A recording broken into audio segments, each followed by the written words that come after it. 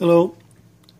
For this video, we're introducing you on how to enroll an employee with their fingerprint. When you first receive the clock, there will not be an admin in the system, so you are able to simply just push the enter button right down here. We see it says M and then the enter symbol here. So we'll click enter. If it asks us to turn off the alarm, we'll just leave it on OK and press enter. Now, we see here we want user access. I'm sorry, that says user manager. We're going to choose a new user.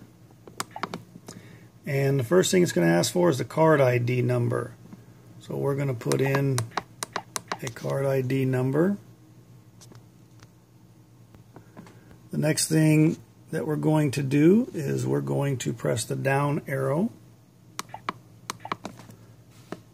to bring the prompt down to where it says FP or fingerprint. Then we're going to press enter. And now it's going to ask us to place our finger in there. So we're going to place our finger in here.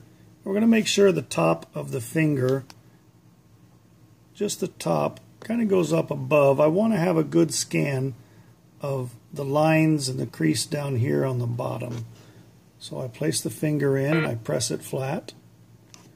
I see up here I got two good green bars. I'm going to come in, press it flat again. Still good. Last time. And I get the check mark, which tells me I've successfully enrolled a finger. Press the enter button and then I'm going to escape out of this.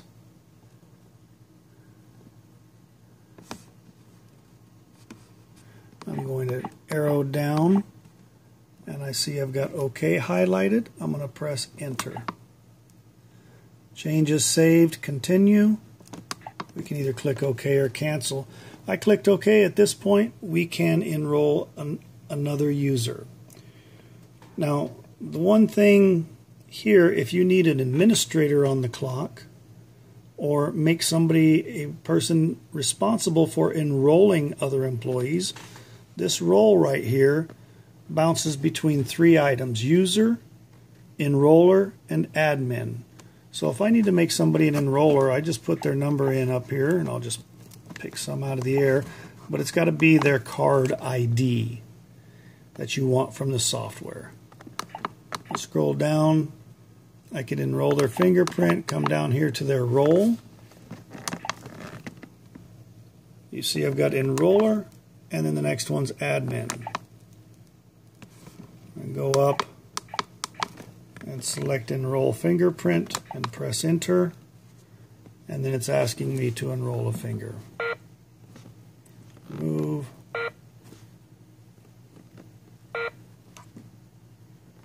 And I am successfully enrolled.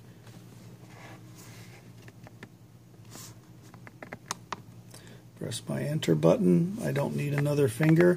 At this time you could enroll a different finger of the same person. That way if they cut their finger during the day or while they're home, when they come back in, if the original finger enrolled is not going to work, they can use one of the other fingers that you have enrolled.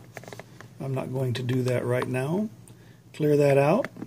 I'm going to scroll down and I'm highlighted here where it says OK and it tells me to press this here. That, do you want to save changes? OK. So now I can press escape to get out of the user manager.